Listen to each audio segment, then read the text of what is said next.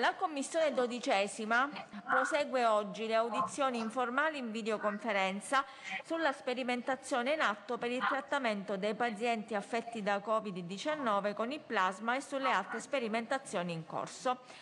Ricordo che l'odierna audizione sarà svolta consentendo la partecipazione da remoto in videoconferenza sia degli auditi che dei deputati, secondo le modalità stabilite dalla Giunta per il Regolamento nella riunione del 31 marzo scorso.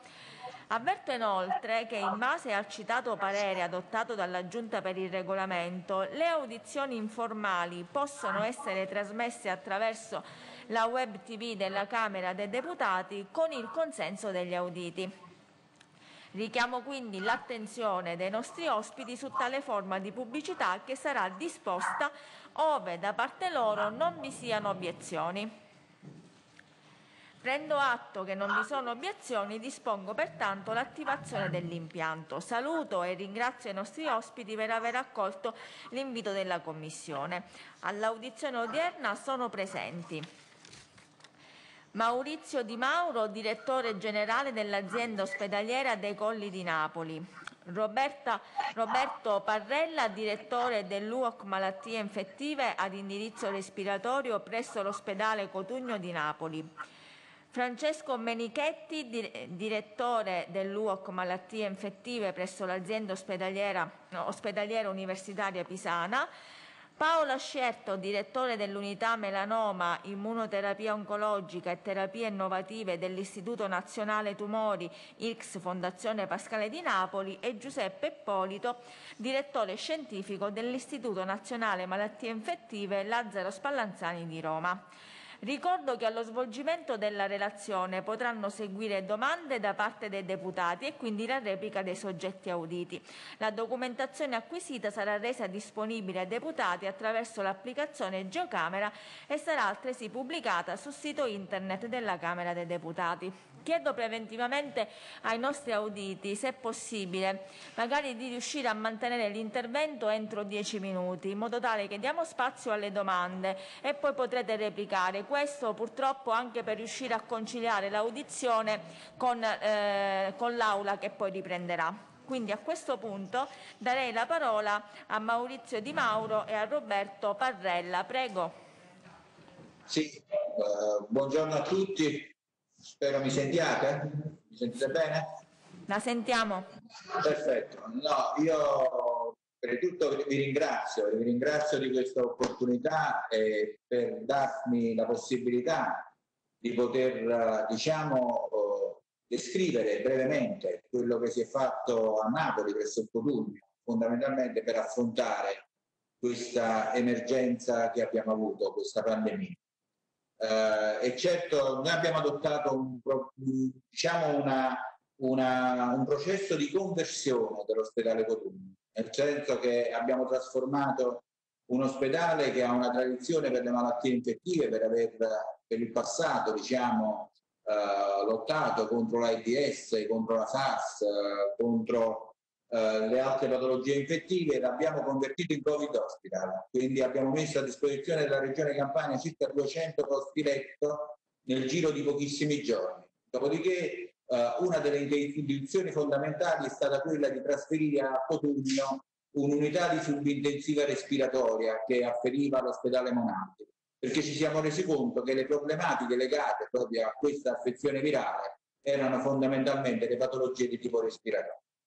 Quindi io da direttore generale dell'azienda mi sono occupato fondamentalmente dell'organizzazione di questi processi Ecco perché ho chiesto che mi affiancasse oggi il dottore Barrella, che è il responsabile della unità operativa complessa di malattie infettive all'indirizzo respiratorio, in modo da poter dare un contributo anche ai deputati più di tipo scientifico per quello che è stato adottato in termini di protocollo, in termini di terapie. Terapie sulle quali, devo dire, i nostri professionisti si sono adeguati di giorno in giorno eh, verificando quotidianamente quali erano le sintomatologie che, questa, che questo virus provocava, quindi dalla, dall'effetto tromboembolico all'effetto diciamo, sulle patologie respiratorie sulla criticità dei primi giorni, dove abbiamo visto pazienti arrivare nei nostri pronto soccorso e in due ore portarli in terapia intensiva ed intubarli proprio perché andavano incontro a questa gravissima polmonite interstiziale quindi a questa fibrosi polmonare. Per cui io limito il mio intervento a questo, è un intervento diciamo, più di tipo organizzativo e lascerei la parola al dottore Parrelli per la parte più di riferimento dal punto di vista scientifico. Salve a tutti, eh, buongiorno e grazie per l'opportunità. Come diceva il direttore generale, noi nell'emergenza Covid abbiamo organizzato, meglio riorganizzato l'ospedale un po' come hanno fatto tutti gli altri ospedali, strutture, dallo Spallanzani agli altri, eh, guardando in prima battuta quella che doveva essere eh, l'infection prevention e control, perché eh, abbiamo ritenuto fondamentale diciamo, arginare eh, la, la, diffusione del virus ancora prima diciamo, che nella popolazione, nella parte diciamo, dell'ospedale, dei sanitari e quanto altro. Quindi abbiamo attivato una serie di eh, procedure eh, anche prima del, di ricoverare il, il, primo caso di Covid, andando a fare simulazioni tra il personale medico, sanitario e quanto altro.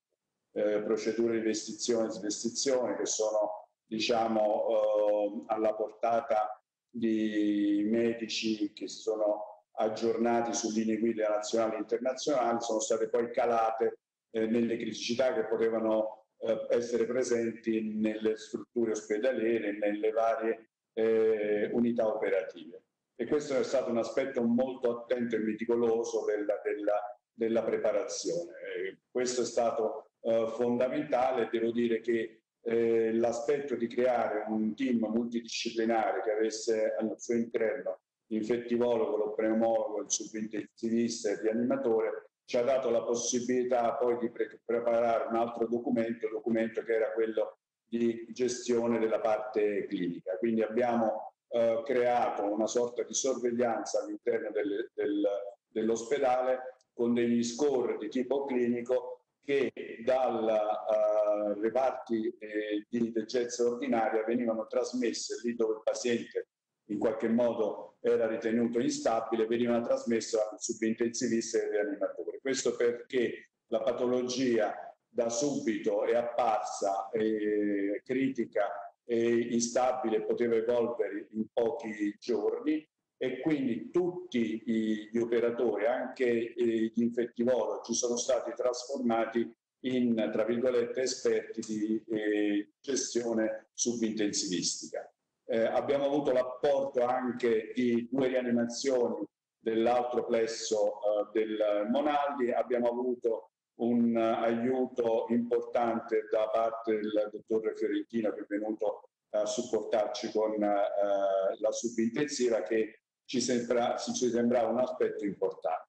L'altra criticità era il discorso a cui si accennava prima, eh, accesso alle terapie. Non esiste una terapia a tutt'oggi eh, standard e valida per quanto riguarda il, il trattamento del, del virus che stiamo affrontando. E quindi nella prima parte c'è stata una corsa, eh, letteralmente una corsa a utilizzare sia farmaci in off-label sia farmaci con autorizzazione per quanto riguarda uso compassionevole, sia, la parte più critica è stata questa, rientrare in alcuni protocolli sperimentali per dare la possibilità ai nostri eh, pazienti di avere le stesse opportunità terapeutiche e di avere a disposizione eh, le terapie che in quel momento sembravano le più opportune, le più eh, adeguate. E così abbiamo eh, cominciato con una serie di protocolli uno è quello del tocilizumab che abbiamo portato avanti con il professore Ascerto, poi eh, abbiamo seguito e siamo dentro al protocollo Tsunami, eh, il cui PA è il professore Menichetti, eh, siamo nel protocollo del Rendesivir. Questo è un aspetto molto importante che ci permetteva in qualche modo di seguire da un punto di vista clinico, gestionale e terapeutico i nostri pazienti. Vi ringrazio. Grazie, grazie dottor Di Mauro e dottor Parrella. A questo punto do la parola al eh, dottor Menichetti che mh, mm, trasmetterà delle slide. Sì. Buon pomeriggio Presidente. Buon pomeriggio a lei. Sto condividendo, spero Bene. che vediate le diapositive. Eh, sì, sì, le vediamo, le vediamo. Bene, grazie per avermi dato questa opportunità. Eh, la pandemia ha messo eh, in crisi l'identità eh, del medico e del, e del ricercatore. Eh, il medico cerca disperatamente di intervenire salvando la vita del paziente, il ricercatore è impegnato nel produrre evidenze. Talvolta questo può creare un'apparente antinomia. AIFA eh, ci ha molto aiutato con schede informative e raccomandazioni sull'uso dei farmaci, poiché oggi come oggi eh, noi non disponiamo di una terapia eh, che abbia dimostrato sicura efficacia per il Covid-19. AIFA anche valuta le sperimentazioni cliniche eh, finora eh, vedete dei 144 studi valutati eh, hanno avuto eh, parere favorevole 40, 34 sono stati già approvati, antivirali, idrossiclorochina, eparina, colchicina, molti studi su immunomodulatori, ma pochissimi di questi studi hanno un elevato standard di disegno scientifico. Solo 8 sono randomizzati con gruppo di controllo. Uno di questi è appunto lo studio sulla plasmaterapia noto come eh, Tsunami Italia. Non vi faccio perdere eh, tempo e vado eh, direttamente all'essenza eh, della eh, terapia con plasma iperimmune. Chi ha la sfortuna di ammalarsi di Covid ma la fortuna di guarire, probabilmente riesce a farlo grazie alla produzione di anticorpi, anticorpi neutralizzanti, anticorpi neutralizzanti il virus che possono essere prelevati dal paziente convalescente e poi trasfusi al paziente malato. Il meccanismo d'azione di questi anticorpi neutralizzanti eh, compete direttamente con quello del virus nei confronti della cellula eh, dell'ospite che verrà infettata, quindi il presupposto teorico esiste completamente. È importante però che eh, questi pazienti convalescenti abbiano una presenza di anticorpi neutralizzanti significativa, un titolo elevato e si è capito che i pazienti che hanno un Covid grave sviluppano rapidamente titoli elevati di anticorpi neutralizzanti in 10-20 giorni che durano per eh, alcune settimane. Ma qual è l'evidenza scientifica sull'efficacia della plasmaterapia ad oggi? C'è veramente molto poco una rassegna del, del, Cochrane su otto studi include solo 32 pazienti trattati con plasma iperimmune, senza gruppo di controllo, senza randomizzazione. Tutti questi studi segnalano un miglioramento clinico in alcuni di questi pazienti, ma rimane assolutamente incerto se il miglioramento possa essere correlato alla plasmaterapia alle altre terapie ricevute o sia frutto della naturale progressione della malattia. È da citare ovviamente l'impegno dei colleghi di Pavia e di Mantova che hanno disegnato tempestivamente uno studio proof of concept sulla plasmaterapia, una studio diretto a pazienti molto gravi, senza gruppo di controllo, i cui risultati non sono stati ancora pubblicati, ma sono noti e qui li riporto. I colleghi segnalano che in 46 pazienti da loro trattati dal 25 marzo al 21 aprile hanno avuto una letalità di solo il 6,5% che compara favorevolmente con una letalità generale del 15%. Concludono, e questo lo sottolineo, che il plasma iperimmune, che quindi eh, dimostra dei, dei, benefici promettenti, debba eh, confermare le aspettative in studi clinici eh, controllati, uno studio di verifica teorica. Cito uno studio cinese importante pubblicato il 3 giugno perché è il primo studio randomizzato controllato che è stato in grado di includere 100 pazienti, che sembra un gran numero, ma purtroppo lo studio era pianificato per arruolarne 200, non sono stati in grado a Wuhan di completare lo studio perché l'epidemia, fortunatamente per loro e per tutti, si è interrotta prima.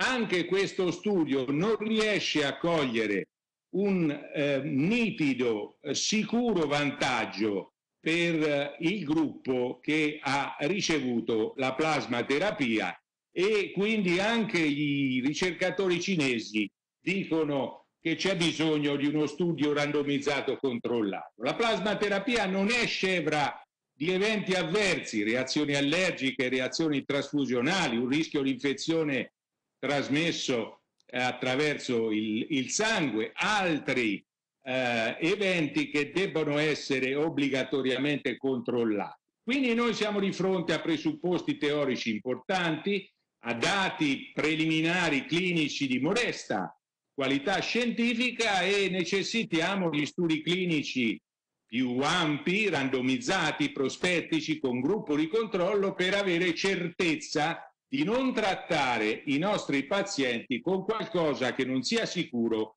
e che non sia efficace. Questo è dato o semplicemente ed esclusivamente da un disegno di studio randomizzato controllato, qui vedete la piramide dell'evidenza di cui vi parlò Lopalco qualche giorno fa, e questo è esattamente quello che offre lo studio Tsunami Italia. Tsunami nasce a Pisa, ideato dal sottoscritto e dai collaboratori, il 6 aprile approvato, ma poi riceve la richiesta del centro regionale sangue della Toscana, diventa il protocollo del consorzio Planet, quindi Lazio, Campania, Marche, Sanità Militare ed Umbria, e più importante eh, riceve la richiesta da parte di AIFA l'Istituto Superiore su Unità di essere utilizzato come modello di protocollo per una sperimentazione nazionale. Ecco che quindi Tsunami, nato a Pisa, diventa Tsunami Italia e in questa forma viene approvato dal Comitato Etico Spallanzani il 15 maggio. Tsunami Italia che adesso ha come promotore AIFA e Istituto Superiore di Sanità, raduna al momento 64 centri clinici e 65 centri trasfusionali, quindi vedete in eh, colorazioni diverse come diverse sono le epidemie italiane, c'è quella eh, Bergamo, Brescia e Lombardia, c'è quella delle altre regioni del nord, c'è anche la Toscana perché è la quinta regione interessata, ma non c'è assolutamente paragone con la situazione della Lombardia del Nord e poi ci sono le regioni che fortunatamente hanno una, una minore diffusione delle. Cosa vogliamo dimostrare con Tsunami Italia? Vogliamo ridurre la necessità di ventilazione meccanica invasiva nei pazienti trattati precocemente. Per far questo avremmo bisogno di un numero rilevante di pazienti, 474, che adesso, devo dire, eh, con l'andamento attuale dell'epidemia, mi pare un, un obiettivo veramente molto ambizioso.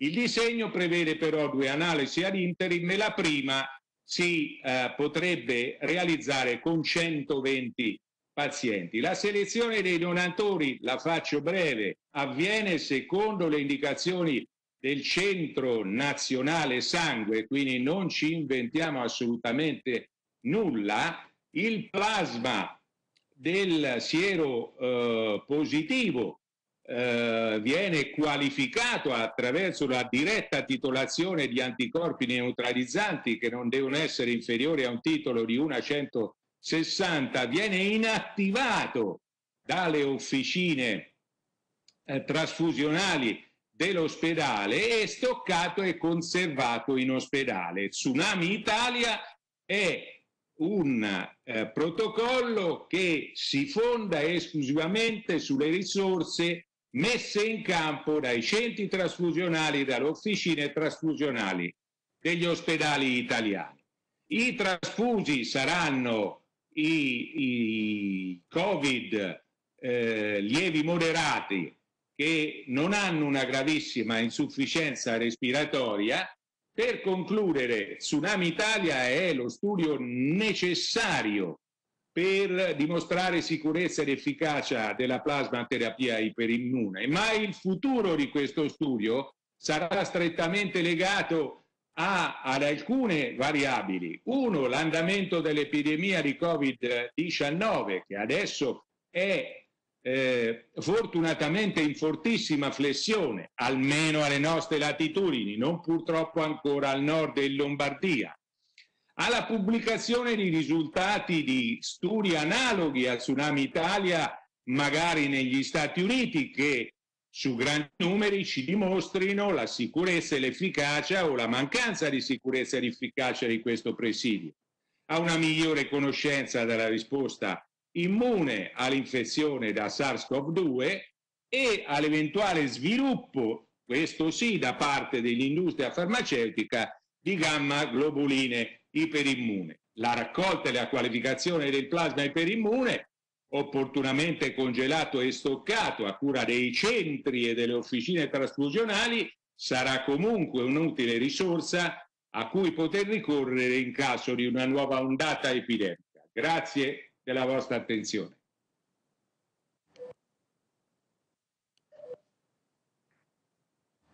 Grazie professor Menichetti. A questo punto do la parola al dottor Paolo Scerto. Prego.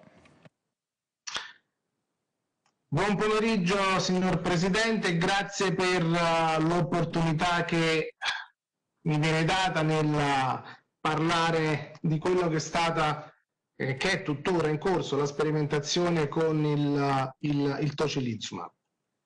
Ora, perché a un certo punto abbiamo pensato di utilizzare gli anti-interleuchina 6 in uh, questi pazienti affetti dal distress respiratorio dal Covid-19? Perché quello che noi facciamo quotidianamente è trattare i pazienti con cancro con l'immunoterapia e l'immunoterapia risulta efficace ma a volte dà anche effetti collaterali e uno di questi effetti collaterali è rappresentato proprio dalle polmoniti immunoindotte che in genere vengono trattati con il cortisone a alte dosi ma ci sono dei casi resistenti al cortisone e in questi casi resistenti si utilizzano altri immunosoppressivi, tra cui anche il tocilizuma, per esempio. Il tocilizuma poi è molto ben conosciuto tra gli ematologi e tra coloro che uh, utilizzano uh, le cosiddette CAR T-cell, che in questo momento sono state approvate anche in Italia per alcuni tipi di leucemia e di uh, linfoma. E questo effetto collaterale è dovuto proprio alla, alla secrezione, quindi alla produzione da parte delle cellule le famose CAR-T che vengono inoculate nel paziente di citochine, quindi la tempesta citochinica di cui tanto si parla e dove l'interleuchina 6, una di queste sostanze, è poi responsabile sia dello shock ipotensivo che anche di un distress respiratorio molto simile a quello che si è visto nel Covid-19. E infatti nelle autopsie dei pazienti morti in Cina, che sono state fatte da alcuni colleghi cinesi, si è visto che Uh, nel microambiente del polmone c'era un aumento di quelle che vengono chiamate cellule dell'immunità innata, macrofagi tecnicamente, che poi producono sostanze tra cui l'interleuchina 6. Quindi anche in questo caso il distress respiratorio era da mettere in relazione alla tempesta citochinica dove l'interleuchina 6 rappresenta una delle più importanti nel generare questo, questo effetto. Da qui l'idea di utilizzare degli anti-interleuchina 6 qui ne vedete menzionati tre, tra cui il, il tocilizumab. Quando abbiamo fatto un brainstorming per uh, pensare a qualcosa che potesse aiutare questi pazienti facendo un po' il raffronto con le polmoniti che noi avevamo in seguito a immunoterapia, abbiamo pensato al tocilizumab e poiché qui in istituto, uh, nell'istituto Tumori, abbiamo una partnership con alcune istituzioni cinesi, abbiamo contattato i colleghi cinesi, i quali ci avevano detto che avevano anche loro pensato a questa strategia, addirittura l'avevano utilizzata su 21 pazienti e in 20 di questi 21 pazienti avevano avuto un recupero in 24-48 ore. Per questo motivo, dopo questa conversazione con i colleghi cinesi, personalmente ho contattato il dottore Montesarchio, che è il direttore della, della struttura di oncologia medica dell'azienda De Colli, di cui il direttore Di Mauro qui presente è il direttore uh, generale. Anche con noi collaboriamo per l'immunoterapia, gli ho spiegato questo razionale e devo dire che grazie poi anche all'intervento dei due direttori generali, il direttore Di Mauro e il mio direttore generale, il dottore Bianchi, si è creata il giorno successivo a questa conversazione, che era il 7 marzo, una task force al, al Cotugno dove tutti insieme con il dottore Parrella anche qui presente, altri infettivologi e rianimatori dell'ospedale Cotugno, una task force per iniziare il trattamento nei pazienti con questo distress respiratorio con il tocilizumab. Uh, I primi pazienti che abbiamo trattato uh, sono stati dei pazienti in cui uh, c'è stato un risultato importante e quindi in quel momento abbiamo pensato di mettere su uno studio clinico. Devo dire che uh, è stato fatto un lavoro eccezionale sia dal dottor Franco Perrone, che è il primario dell'ufficio sperimentazioni cliniche qui dell'Istituto Tumori, nonché da AIFA, perché si è finalizzato uno studio clinico in dieci giorni. Quindi si è iniziato a parlare il 9 marzo, il 19 marzo già si è aperta la, uh, è stato aperto il sito web per l'arruolamento dei pazienti. All'epoca, quando abbiamo disegnato lo studio, non abbiamo pensato a uno studio di fase 3 randomizzato perché avremmo dovuto inserire un braccio di controllo con placebo e sinceramente non ci sentivamo di proporre a pazienti in terapia intensiva un, uno studio clinico con un braccio di controllo con il placebo, anche se, come è stato detto in precedenza, questo è lo studio eh, che da un punto di vista eh, tecnico è lo studio ideale. Per cui abbiamo disegnato questo che viene chiamato uno studio prospettico di fase 2 e abbiamo generato un'ipotesi. L'ipotesi era eh, utilizzando come parametro di riferimento quello che viene chiamato primary endpoint, il tasso di mortalità a un mese, abbiamo ipotizzato che l'utilizzo del tocilizumab, tra l'altro un dosaggio superiore rispetto a quello utilizzato dai cinesi, il dosaggio che noi utilizziamo negli effetti collaterali delle carticell della sindrome da rilascio citochinico, e quindi abbiamo detto se il tocilizumab uh, è efficace dovrebbe ridurre perlomeno del 10% il tasso di mortalità a un mese che all'epoca era valutato dall'Istituto Superiore di Sanità del 35%. Questo qui che vedete, perdonatemi l'inglese, purtroppo non ho avuto tempo di tradurlo in italiano, è il disegno dello studio. Sono stati quindi arruolati tutti i pazienti che avevano un grave distress respiratorio, una saturazione dell'ossigeno inferiore o uguale al 93%, un um, PF, eh, un rapporto PF inferiore al 300 e che dovevano essere intubati uh, da non oltre 24 ore sono stati arruolati 330 pazienti trattati e adesso abbiamo anche i risultati. E quello che è stato uh, verificato a un mese è che uh, è stato ottenuto un tasso di uh, letalità del 22.4%, quindi più del 10% prospettato, per cui diciamo lo studio in un certo qual modo è positivo, anche se manca del braccio di controllo. Con AIFA quello che si è fatto è anche di creare una cosiddetta corte osservazionale, quindi in maniera parallela al famoso studio. Tenete presente che quei 330 pazienti sono stati arruolati in 20 ore, quindi lo studio aperto il 19 marzo praticamente in 20 ore aveva esaurito i famosi 330 posti e per questo motivo per mettere anche a disposizione comunque ulteriori dosi del farmaco si è creata questa famosa corte osservazionale dove qui vedete un dato riportato di 1781 pazienti ma sono più di 2500 i pazienti trattati e questi dati comunque contribuiranno ad aggiungere una, um, un valore a quello che è stato visto nell'esperienza del fase 2 e qui in questa esperienza devo dire i criteri erano meno rigidi per cui anche pazienti intubati da più di 24 ore potevano essere trattati con eh, il tocilizumab. Su questa corte le analisi sono ancora in corso. Io qui voglio farvi vedere delle immagini TAC di uno dei pazienti trattati al cotugno. Tutti questi pazienti, come diceva prima il dottore Parrella, sono stati trattati al cotugno. Vedete un ragazzo del 93, 27 anni con nessuna comorbidità. Questo per dire di come il Covid comunque ha interessato non solo persone anziane con uh, comorbidità, ma anche a volte giovani e che grazie a un trattamento di tocilizmo del 18 marzo ha avuto un miglioramento importante. Tra l'altro questo è un paziente che entrava con una gravissima insufficienza respiratoria. Abbiamo fatto anche altro. Nell'ambito di un'esperienza che possiamo dire off-label abbiamo utilizzato un altro anti-interleuchina 6 attraverso la modalità di, so di somministrazione sottocute, il sarilumab, questo come dicevo un altro anti-interleuchina 6. Lo abbiamo utilizzato in una corte piccola di pazienti 15, giusto per vedere se questo uh, approccio poteva essere importante. Abbiamo avuto anche qui dei casi interessanti di risposta, ovviamente sono casi cosiddetti aneddotici, uh, che non hanno purtroppo uh, alcun valore scientifico se non quello ecco, di presentare i casi, ma questo è importante perché la strategia di utilizzo sottocute potrebbe in qualche modo anche uh, migliorare in qualche modo uh, l'efficienza del, del trattamento nei pazienti. Al momento stiamo aspettando i risultati di due studi di fase 3, quelli che dicevamo prima con il controllo, che utilizzano rispettivamente uno il tocilizum e l'altro il sarilumab. L'arruolamento di questi due studi clinici uh, sembra essere concluso, per cui a breve avremo la conferma di quello che noi anche abbiamo visto. Ultima cosa è che da un punto di vista di tossicità il tocilizumab non ha mostrato nessuna tossicità aggiuntiva a quelle che erano state viste nell'esperienza dell'artrite reumatoide. Detto questo, uh, vorrei ringraziare uh, tutti gli amici, ecco, ho l'opportunità di farlo uh, qui alla presenza del direttore Di Mauro e del dottore Parrella, tutti i colleghi anche del, del, del Cutugno, perché questo è stato un gioco di squadra veramente importante che ha portato alla finalizzazione di uno studio clinico in tempi record, grazie anche a questa azione importante di AIFA che ha dimostrato responsabilità ed efficienza in un momento così critico. E grazie per l'attenzione. Grazie direttore Scerto. A questo punto concludiamo quindi con eh, il direttore Giuseppe Ippolito.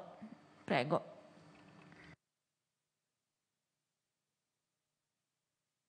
del professor Moni Benichetti che ha fatto tra l'altro un punto sulla procedura che è stata messa in atto in Italia sulla quale mi vorrei soffermare perché è un'assoluta novità e l'Italia anzi è un suggerimento ai decisori politici di prendere atto di una necessità di dotare AIFA di un modello di infrastruttura per la ricerca sui farmaci. Se noi non facciamo questo, e colgo questa occasione che è quanto mai appropriata, abbiamo bisogno di definire un percorso per la valutazione dei farmaci.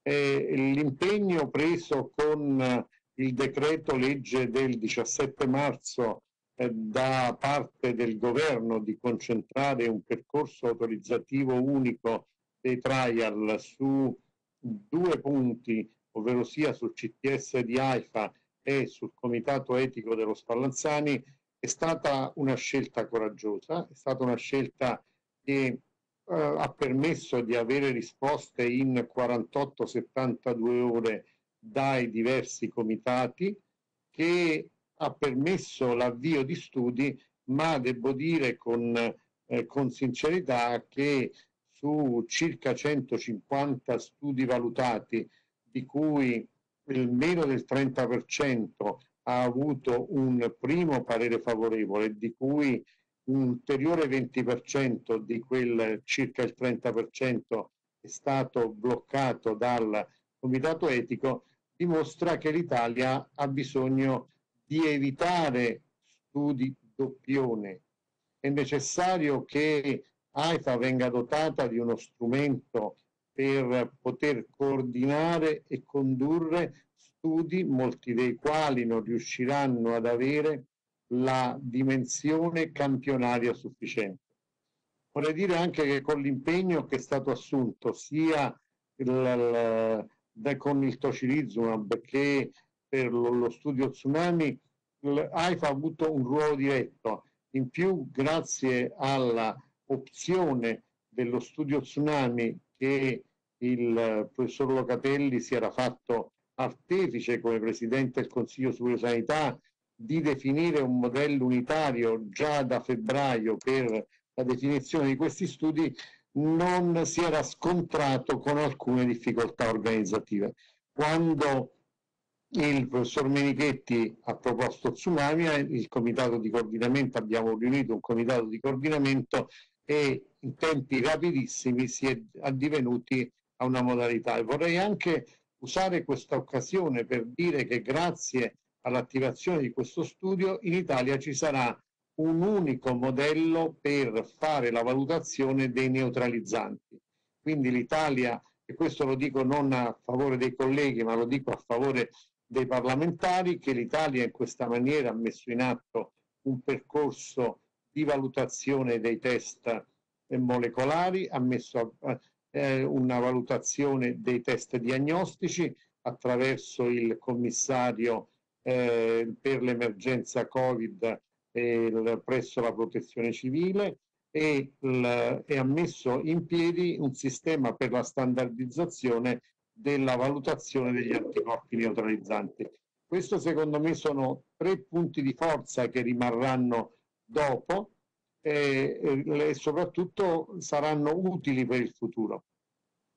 In merito a eh, purtroppo molti di questi studi non, non ci consentiranno di prendere decisioni definitive, sia perché gli assunti prima del disegno di questi studi erano fatti su conoscenze al momento ancora limitate, sia perché molti di questi studi, come ha detto già il professor Menichetti, non riusciranno, non riusciranno ad arruolare in maniera significativa. Eh, una nota particolare che nella pubblicazione il 3 giugno dello studio randomizzato al quale ha fatto riferimento il, il, um, il, il professor Menichetti, eh, è necessario dire che un importante editoriale della Johns Hopkins di, Bal di Baltimora metteva eh, che, tra l'altro da parte di Arturo Casadeval, che è anche la persona che eh, ha, sta valutando i diversi approcci di plasma di convalescente negli Stati Uniti, eh, arrivava a una conclusione che i, i dati del, di questo studio randomizzato americano, pur in tutta la, il significato anche su pochi pazienti che non potevano essere definitivi, però ci diceva che non si dimostrava una, un beneficio statistico nel miglioramento in termini di mortalità su tutti i pazienti randomizzati al ventottesimo giorno.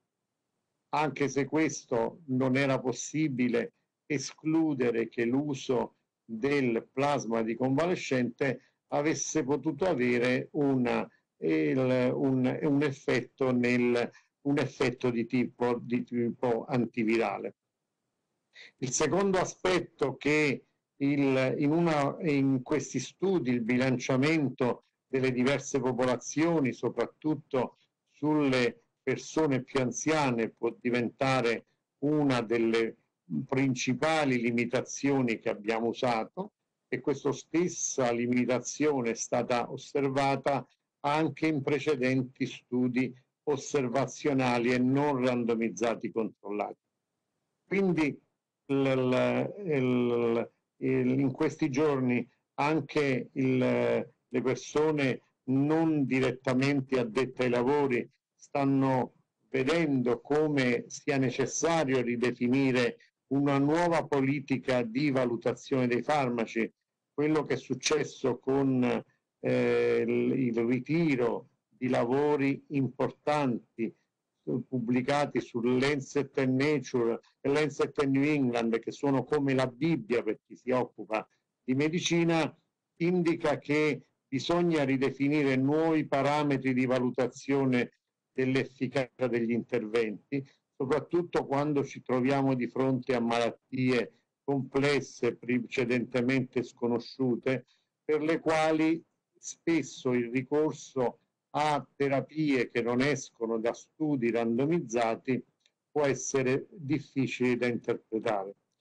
Un'ulteriore aggiunta che è stata fatta in queste settimane uh, tra i commenti che sono usciti dopo queste importanti retraction è che se una malattia che ha una letalità assolutamente inferiore a quello che era stato ipotizzato in una prima fase in tutto il mondo e questo per l'effetto accumulo può, può aver portato a considerazioni di potenziale efficacia di farmaci superiori a quelle che lo erano. L'aspetto conclusivo è che considerare che alcuni farmaci possano essere di beneficio solo in pazienti meno gravi non è sufficiente a giustificare risultati non forti da un punto di vista di potenza degli studi. Quindi una raccomandazione da un punto di vista tecnico è quello di aiutare il, gli organi deputati a fare questo, a eh, mettere in piedi sistemi che senza interferire con la libertà di ricerca e con l'impegno individuale, eh, i due studi che sono stati presentati è un modo con cui AIFA ha riconosciuto l'impegno delle persone che avevano avuto questa idea, ma bisogna far sì che l'intero paese si mobilizzi e se mi posso permettere che si crei un, anche un finanziamento ad hoc perché in Italia si possano fare studi indipendenti promuovendone l'applicazione su tutto il territorio nazionale. E credo che la, la sede nella quale stiamo parlando oggi sia la sede più adeguata per pensare che senza un modello di finanziamento forte per studi indipendenti, soprattutto in situazioni inattese, renda difficile affrontare nuove emergenze. In queste situazioni il rischio di trattamenti miracolistici o di situazioni che vengono poi smentite dai fatti o da ritrattazione di articoli pubblicati anche su riviste prestigiose può essere quanto mai pericoloso. Un esempio per tutti è quello della decisione dell'uso della clorochina, che ha visto anche presidenti di altri paesi impegnarsi per l'uso della clorochina fino al totale ritiro dei programmi basati sulla clorochina e questo è avvenuto nel Regno Unito, in Francia, in Italia, negli Stati Uniti e sta avvenendo in tutti i paesi. Quindi è importante cercare di eh, prendere atto di questa epidemia e usare questa triste esperienza per il futuro. Grazie. Grazie a lei. Adesso vediamo se ci sono domande da parte dei colleghi. Allora, facciamo così, eh, raccogliamo tutte le domande, dopodiché eh, vi diamo modo appunto di replicare eh, utilizzando lo stesso ordine. Eh, la collega Silvana Nappi, prego. Eh, onorevole Nappi, se vuole essere, e vale anche per gli altri, se volete essere inquadrati durante no, la domanda, problema, no. vi conviene mettervi qui. No, non c'è problema. Va bene. Onorevole, prego.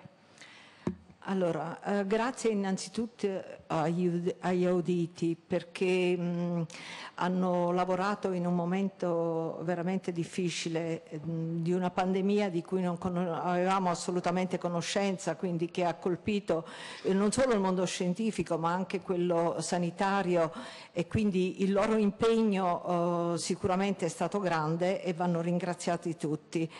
Io volevo fare una domanda al dottor Menichetti eh, perché lui ha parlato eh, di una quantità alta di anticorpi solo come risposta ad una malattia conclamata. Allora io vorrei chiedere al dottore Menichetti se il plasma iperimmune ehm, venga preso esclusivamente limitato alle persone ehm, che hanno manifestato la malattia. E se sono stati dosati invece il titolo anticorpale in quelli eh, asintomatici o, pausi, o pauci sintomatici. E eh, se il, gli anticorpi neutralizzanti di queste persone, di queste ultime due persone, quindi quelli asintomatici e pauci sintomatici, non è eh, sufficiente eh, per poter essere estratto e mh, determinare un plasma iperimmune. Quindi, e poi anche chiedere un'altra cosa, sempre al eh, professore Menichetti, se il trattamento precoce eh, vuol dire ehm, quanto tempo dalla diagnosi onorevole Nappi, certa. Solamente un attimo perché eh, il professor Menichetti credo che abbia problemi con l'audio, quindi Va bene, non c'è problema. Tutto a posto, può Va continuare. bene. No, volevo chiedere anche No, ho se sentito, ma l'audio dell'onorevole Nappi andava e veniva, segnalo solo questo. Sì, e, e se il trattamento che cosa vuol dire in, eh, dopo quanto tempo dalla diagnosi? Perché lei ha parlato di un tempo abbastanza precoce per eh, usare questo tipo di terapia, quindi volevo sapere più o meno i tempi. Grazie. Grazie. Ci sono altre domande da parte dei colleghi? L'onorevole Sarli? Eh, ringrazio anch'io, mh, come la collega, tutti i, i- i dottori e i professori che stiamo audendo, sia per le notizie, ma anche per l'impegno e per il lavoro che hanno svolto finora. Anch'io una domanda per il professor Minichetti, eh, ma semplicemente perché c'è una, mh, diciamo, una discussione in corso in questo periodo e volevo un suo parere. Lui ha spiegato bene che eh, non, insomma, lo studio non ha ancora tutti i caratteri insomma, per poter dire effettivamente la validità del plasma iperimmune, però appunto magari eh, continuare a prenderlo, a congelarlo per un'eventuale altra pandemia, insomma in attesa è tutto molto giusto, volevo sapere una sua opinione invece sull'ipotesi che eh, si affaccia di investire eh, verso la ricerca di questi antibiotici, di, di questi anticorpi di sintesi che non solo potrebbero ridurre ulteriormente le nostre scorte di plasma iperimmune, eh, stiamo parlando di una cosa appunto che non sappiamo ancora quanto abbia funzionato, con dei costi sicuramente diversi rispetto ai costi che invece eh, sembra rappresentare, eh, sembrano essere rappresentati da quelli dal plasma iperimmune. Grazie. Grazie. Onorevole Siani? Sì, grazie, grazie molte. Volevo fare due domande. Un'osservazione ai colleghi del eh, Cotugno e mh, diciamo, ai Colli. Quindi, se ho capito bene, la, la, mh, diciamo, l'asso nella manica che avete avuto, essendo tra l'altro stati identificati come il miglior ospedale d'Europa per zero contagi nei, nei medici, è il team multidisciplinare che avete messo in atto, cioè c'era un team che lavorava insieme e in cui tutti diventavano intensivisti. Probabilmente questo è stato il motivo per cui eh, diciamo, avete avuto delle- delle- dei buoni risultati. Quindi diciamo, quello che abbiamo imparato in questa pandemia, a parte la terapia, è anche lavorare insieme tutti e diventando tutti un po' intensivisti? Primo. Secondo, volevo sapere dal professore Ascerto, abbiamo dati sul follow-up, cioè pazienti trattati con l'immunoterapia, eh, come sono andati rispetto agli altri? E terzo, capisco che non si può fare uno studio con un placebo in animazione perché non, non- non penso che sia etico, ma avete paragonato diverse terapie, per esempio plasma con immunoterapia? Perché forse a questo, questo punto della, della- della pandemia il dato mi cre- credo di capire più significativo è sull'uso dell'immunoterapia rispetto al plasma come effetti benefici e poi capire anche nel follow up dei pazienti quali stanno meglio in base a quale terapia hanno fatto. Questo lo state valutando, lo valuterete? Grazie. Grazie. Ci sono altri interventi? Onorevole Bagnasco? Sì, forse uscirò un attimino dallo stretto campo che hanno trattato i professori e che è stato sicuramente estremamente interessante per chiedere anche qualche altra eh, situazione che sicuramente loro conoscono molto bene avendola vissuta. Ovviamente la premessa è quella che eh, i complimenti più sinceri per eh, quello che hanno fatto, sicuramente all'interno della sanità italiana l'esempio che viene da Napoli è un, è un esempio importante e significativo e non nascondo che ci fa particolarmente piacere che venga da una città, una grande città del sud, potrebbe essere anche come stimolo per fare sempre di più e sempre di meglio. Comunque sono congratulazioni sincere, convinte, che mi auguro possano portare, non dico fortuna, ma possono essere di stimolo per eh, i risultati che sicuramente potrete ottenere in eh, un prossimo futuro. Le mie domande però sono un pochino diverse. Io vorrei eh, da voi avere un giudizio sul, eh, sulle indicazioni che ha dato l'Istituto Superiore di Sanità fin dall'inizio di evitare le, le autopsie. Io credo che questo sia un fatto molto importante e se mi consentite non una scelta particolarmente felice, però vorrei da voi vorrei da voi una risposta molto chiara, molto concreta e molto puntuale, perché è quello che eh, ho potuto constatare, ma non solo io certamente, è che nel momento in cui si sono cominciate a fare un certo numero di autopsie si è cambiata anche un, po', un pochino in molti casi il modo di agire di molte equip in tutta Italia, non solamente in Italia. Vorrei sapere quindi un giudizio vostro su eh, queste indicazioni che evidentemente tutti hanno, tutti o quasi tutti hanno recepito, ma che secondo me sono state particolarmente negative.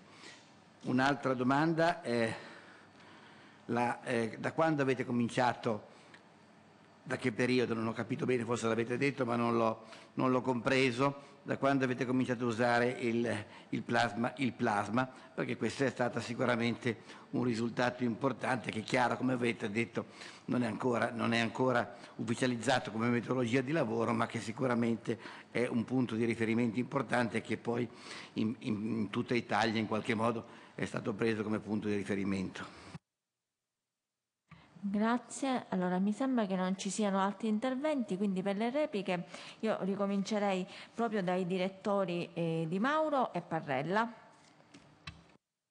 Sì, eh, ringrazio l'onorevole Siani per, per, la domanda. Uh, sì, effettivamente è così, cioè, eh, Cotugno ha, ha lavorato in team, ma è l'azienda che fondamentalmente si è messa a disposizione tutta per cercare di circoscrivere tutto ciò che riguardava diciamo, eh, questa affezione virale.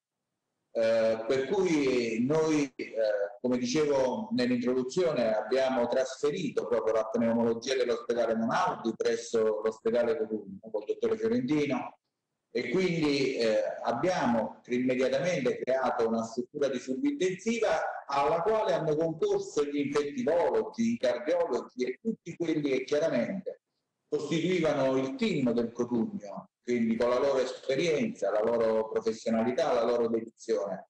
E a prescindere anche dai ruoli, perché una cosa particolarmente, diciamo, emozionante per chi fa il nostro mestiere e vedere che il personale degli altri ospedali, eh, diciamo, quando finivano il loro turno di servizio, eh, anche smarcandosi il cartellino, andavano a dare il loro contributo ai colleghi del Cotugno. Parlo di infermieri, parlo di operatori sociosanitari, parlo anche di tutto ciò che è stata la macchina amministrativa.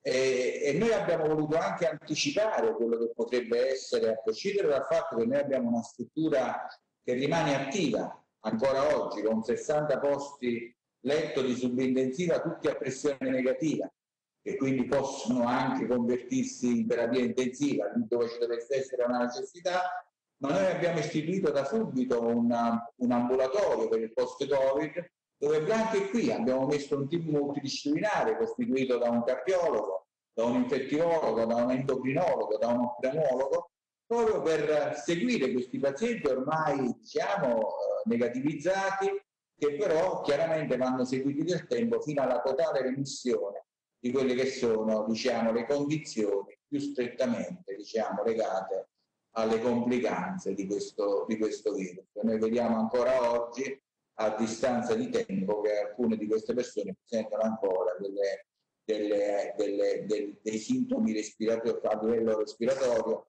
fondamentalmente proprio dalle indagini che noi andiamo a eseguire. Quindi noi reclutiamo questi pazienti di volta in volta, li chiamiamo, li, li controlliamo, li teniamo e li monitoriamo continuamente.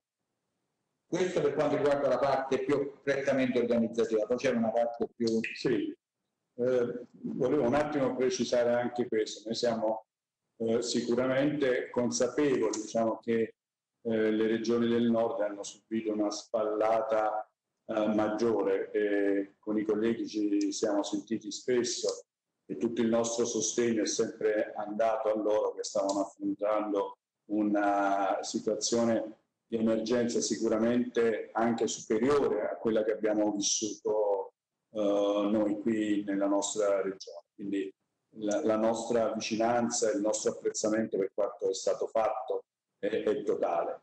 E quello che ci portiamo a casa è sicuramente anche questo, diciamo, la, la capacità di mh, prendere decisioni rapide, eh, di coagulare eh, diciamo, delle, dei consensi rispetto a un, un discorso uh, di emergenza e di essere flessibili, a questo mi riferivo prima, lì dove bisognava essere flessibili perché eh, coinvolgendo un ospedale che è abituato a fare un altro tipo di, di lavoro eh, con alta professionalità, ma qui si trattava di avere strumenti interpretativi totalmente diversi, abbiamo condiviso dei protocolli, ma come penso abbiamo fatto un po' tutte le le realtà eh, diciamo ospedaliere e non ospedaliere che hanno affrontato questo, eh, questo, problema e andando a dare degli strumenti anche a chi non era diciamo tra virgolette della branca per poter essere in qualche modo attivo e chiamare eh, lì dove ce n'era bisogno subito eh, in allarme il, lo specialista di turno che poteva essere il subintensivista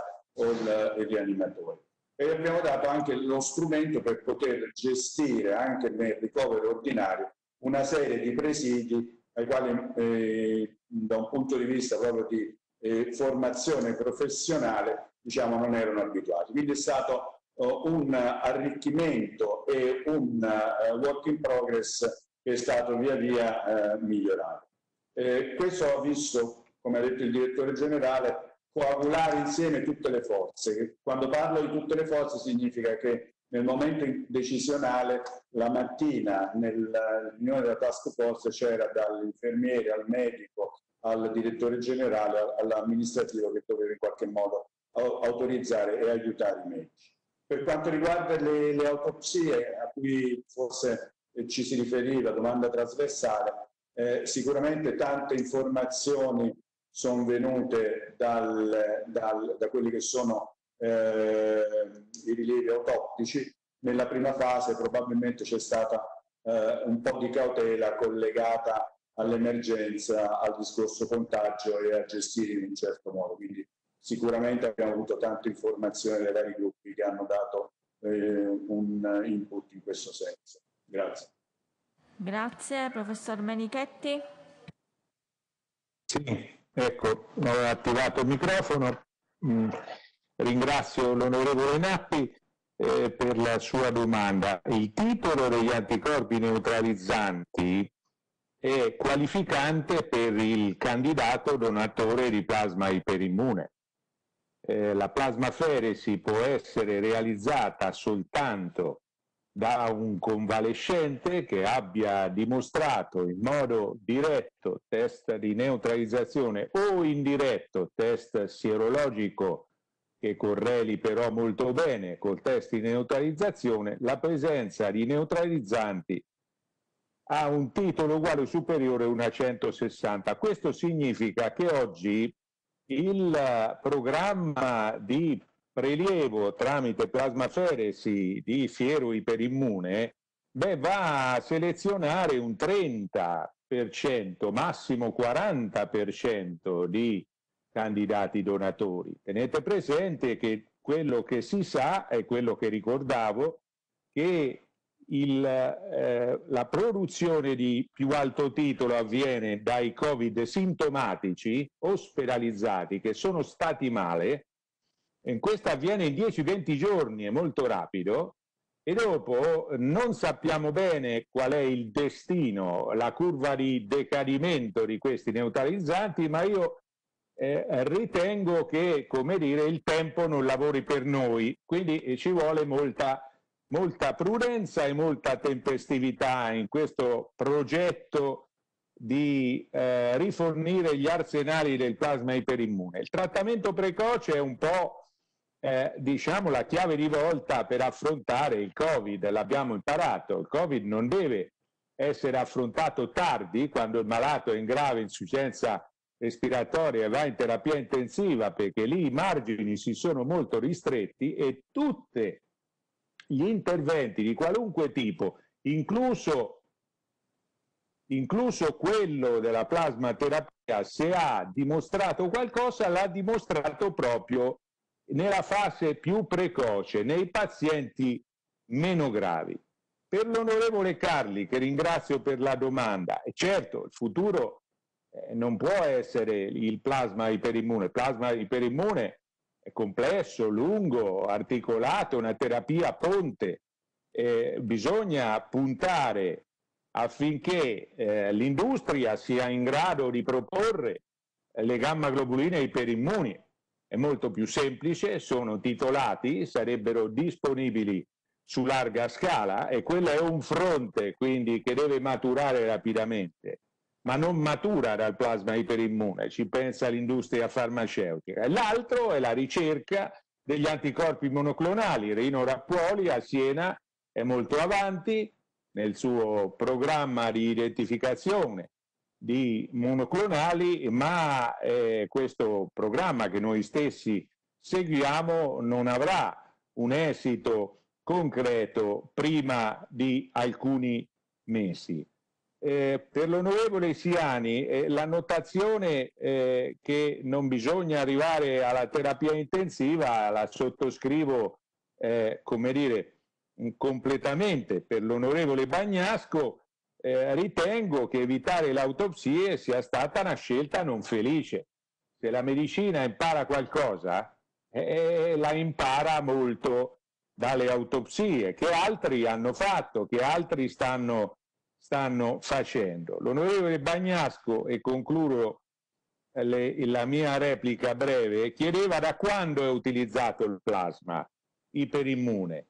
Noi sappiamo sicuramente che Pavia ha iniziato il 18 di marzo, 18 di marzo nel pieno dell'epidemia e ha concluso l'arruolamento dei suoi, eh, della sua corte trattata, tutta trattata con plasma iperimmune l'8 l'8 di maggio, ma ribadisco che l'importante studio di, di, di Pavia e di Mantova è uno studio di verifica teorica, è uno studio preliminare che ha bisogno di tsunami, perché tsunami è lo studio randomizzato, controllato, prospettico con gruppo di controllo su grandi numeri, l'unico disegno che ci può dare certezze di cui abbiamo bisogno. Grazie.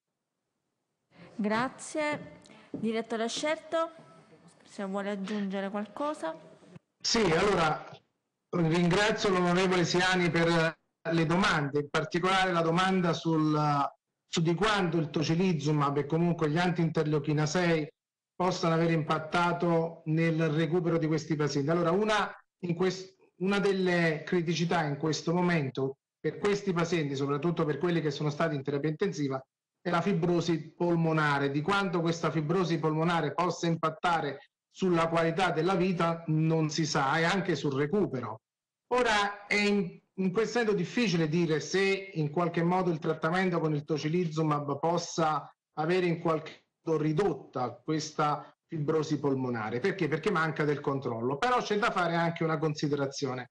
Nell'ambito dello studio che è stato disegnato, poiché a un certo punto c'è stato un ritardo nella consegna del farmaco, sono stati trattati il 60% poi dopo dei pazienti che sono stati inseriti nel sistema e tra l'altro questo è importante soprattutto nella corte osservazionale di cui vi ho parlato. Che cosa significa? Che c'è comunque un 40% di pazienti che erano stati inseriti nel database dell'AIFA e che poi non sono stati trattati e che quindi possono diventare una sorta di controllo interno, anche se lo studio non è randomizzato, ma quindi questi possono essere utilizzati per fare una sorta di controllo. È chiaro che analisi di questa corte in tal senso potranno dirci se effettivamente il trattamento possa avere anche impattato nel ridurre la, la fibrosi polmonare. Per quanto riguarda poi le diverse terapie, se il tocilizumab in qualche modo è superiore, Io vorrei precisare che il tocilizumab serve nella fase della tempesta citochinica, quindi nella complicanza e che quindi non agisce sul virus. È stato detto anche prima chiaramente di come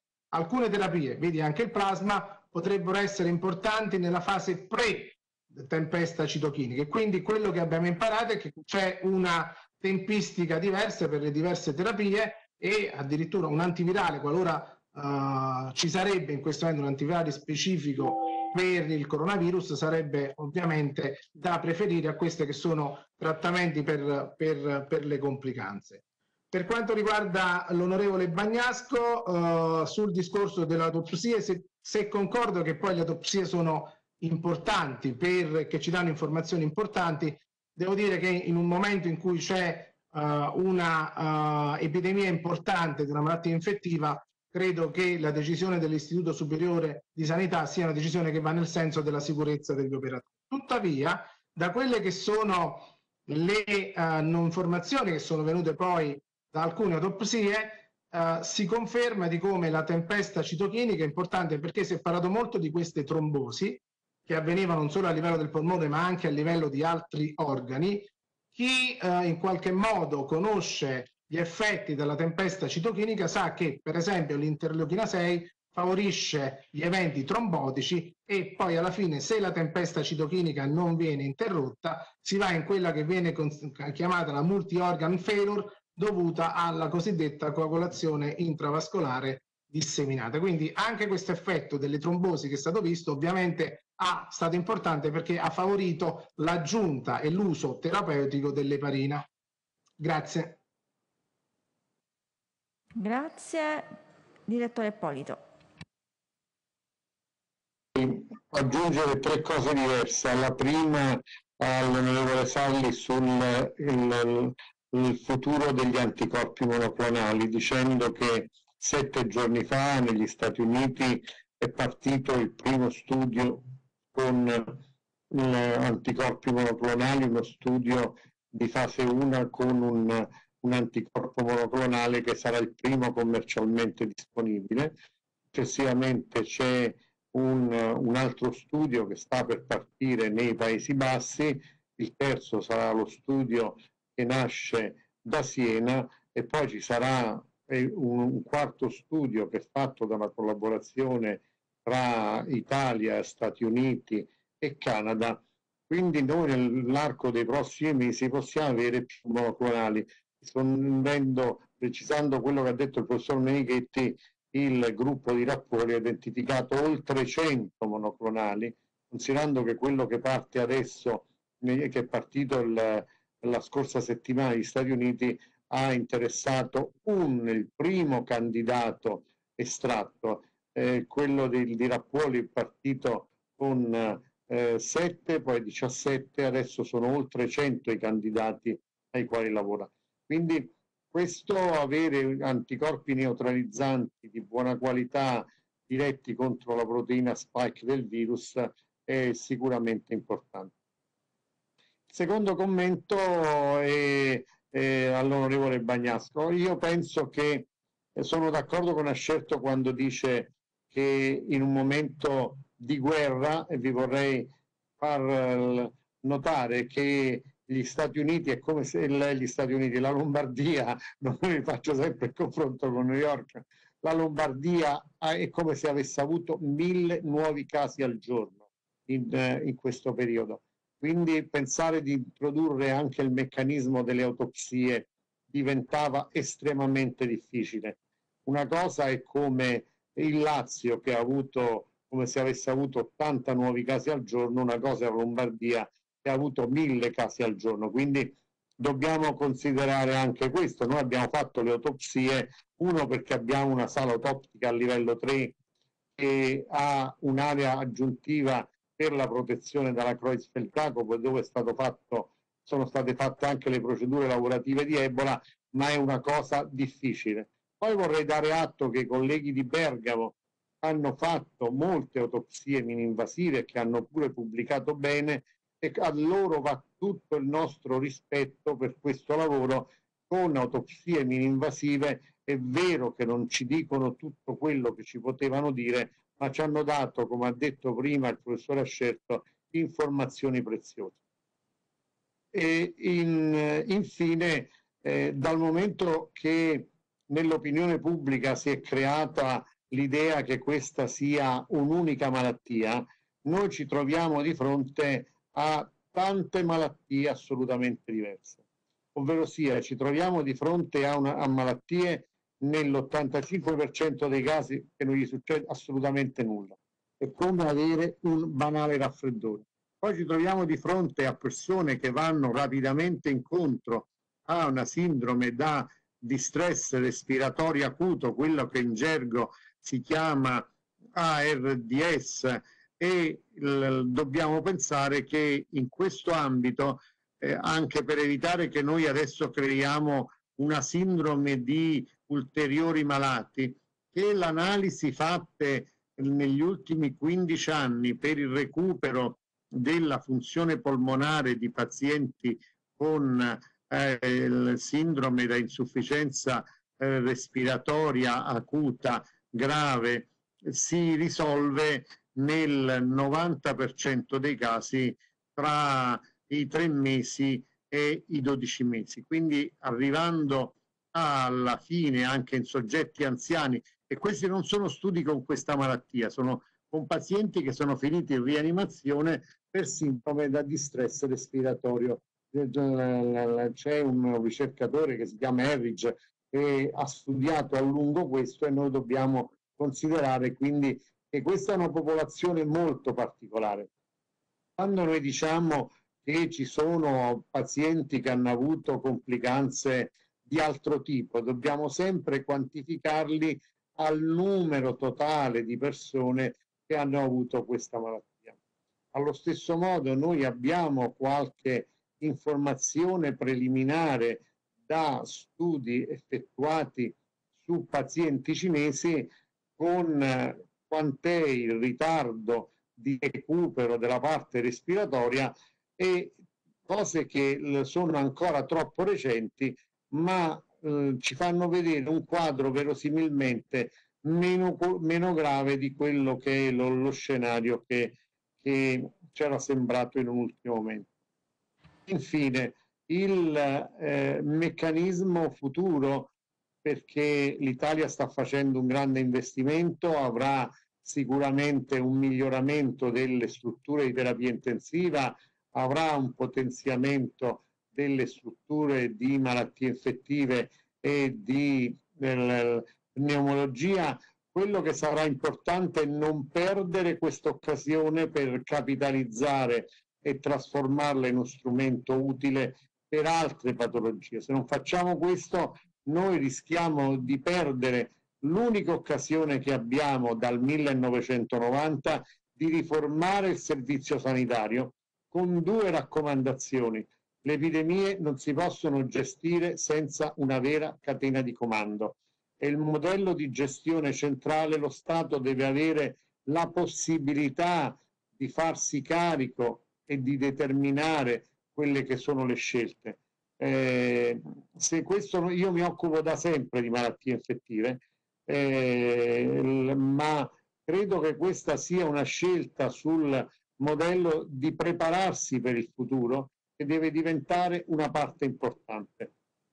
Infine, sempre all'onorevole Bagnasco, le indicazioni dell'Istituto Superiore di Sanità sulle autopsie erano probabilistiche e non deterministiche e, il, e grazie al fatto che non dicevano non si possono fare, si raccomanda di, ha fatto sì che i colleghi, soprattutto i colleghi della Lombardia, hanno potuto fare, applicando procedure di sicurezza e con tecniche mini invasive, un gran numero di autopsie.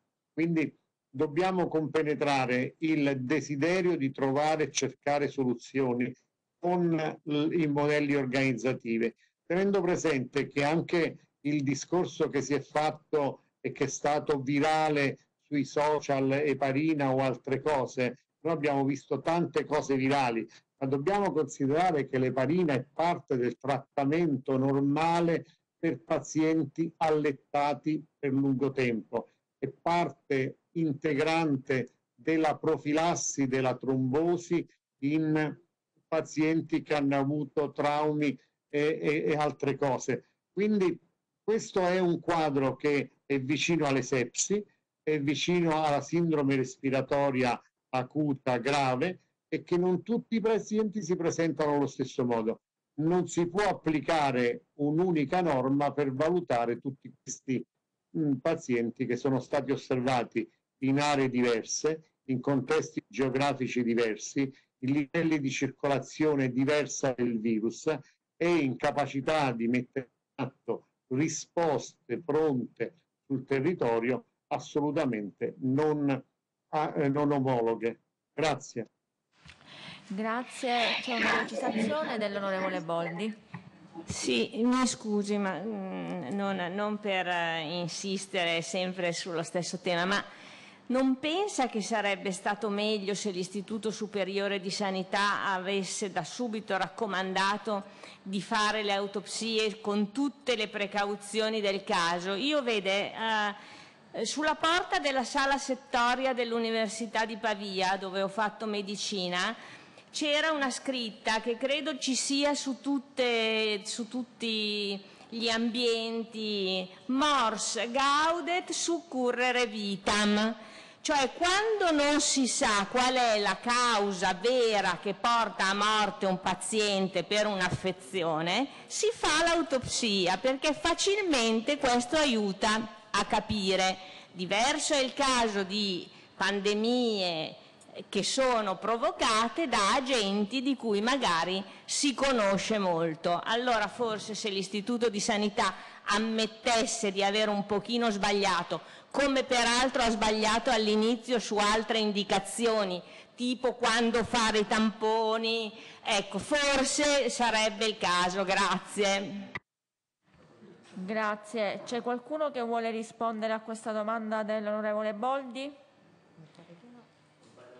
Onorevole, sono Ippolito, credo che la domanda vada posta all'Istituto Superiore di Sanità, ma questo fa parte di definire un modello nazionale di risposta perché, ripeto, la gestione delle, delle emergenze si fa prima, non quando si verificano.